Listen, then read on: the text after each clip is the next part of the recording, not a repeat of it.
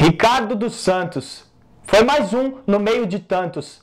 Assassinados no Brasil, a sangue frio. Só esse ano que passou foram 56 mil. Onde já se viu? O pior é que muitas vezes quem atira é o tira, na mira do fuzil. Não é mentira, tio. Todo ano é o mesmo genocídio. Somos o sétimo do ranking. Da FIFA? Não, de homicídio. Não do vídeo. Brasil conseguiu essa façanha. Mais vergonhoso do que o sete que a gente tomou da Alemanha. País sem dono, no abandono. 11% dos assassinatos do mundo, segundo a ONU. Como? Não podemos esquecer, mas o povo tem amnésia e acha que pena de morte só existe na Indonésia.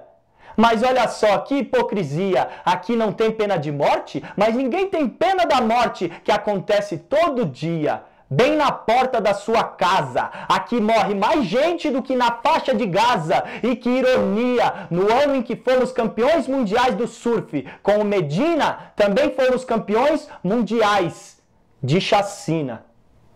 E quantos mais precisarão ser levados pela onda da violência? Quantos?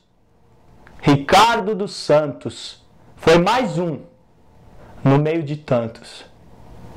Descanse em paz.